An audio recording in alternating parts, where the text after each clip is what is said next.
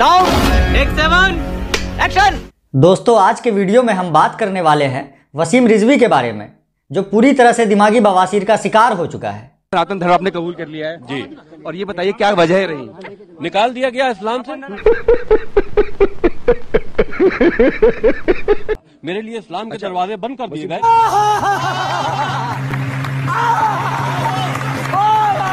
मेरा प्रश्न आपसे ये आप खुद कह रहे हैं कि आपने इस्लाम छोड़ा नहीं आपको इस्लाम से निकाल दिया गया।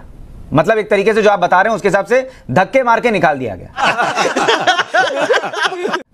तो लोग ये क्यों माने कि आपने हिंदू धर्म को अपनाया है? सही पकड़े हैं। आपने तो इस्लाम छोड़ा नहीं। आपको किसी ने धक्के मार के निकाल दिया तो आपको जो जगह मिली आप वहाँ आ गए आप हिंदू तो हुए नहीं।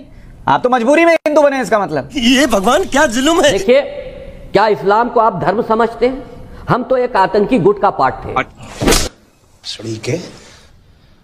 अब तो सच बोल दे भोसड़ी के। उस गुट ने हमको बाहर कर दिया क्योंकि हमने उस आतंकी गुट की असलियत अरे भाई आतंकी गुट में आप थे ना आपने तो नहीं छोड़ा ना आतंकी तो गुट। आप खुद कह रहे हैं आपने आतंकी गुट नहीं छोड़ा। आपको धक्के मारकर निकाला गया उस आतंकी गुट से।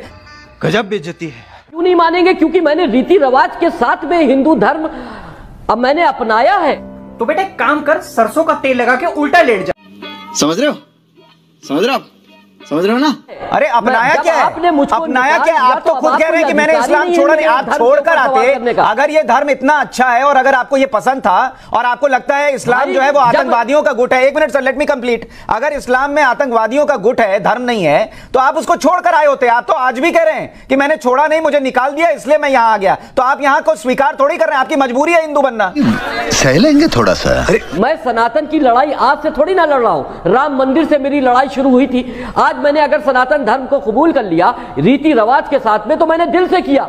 नहीं नहीं नहीं, नहीं सारुण के यहाँ कुछ तो गड़बड़ है। ये कैसे माने तो जितेंद्र वसीम रिजवी उर्फ़ जितेंद्र नारायण त्यागी जी ये कैसे माने कि आपने हिंदू धर्म दिल से स्वीकार कर लिया? कल को आपको हिंदू धर्म में कुरीतियाँ दिखेंगी आप कहेंगे मैं इसको छोड़कर अब क्रिश्चियनिटी अपना रहा हूँ यही सबसे अच्छा धर्म है। कैसे माने आपको हिंदू धर्म में आप आप रहेंगे यहाँ पर? क्या हुआ?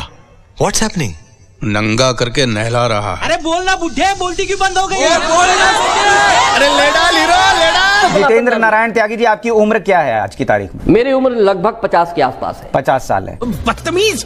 अरे बुढ़ा हो गया जवानी की अकल नहीं गई। अरे बाबा उठा ले। मेरे को नहीं रे इन दोनों को उठा ले।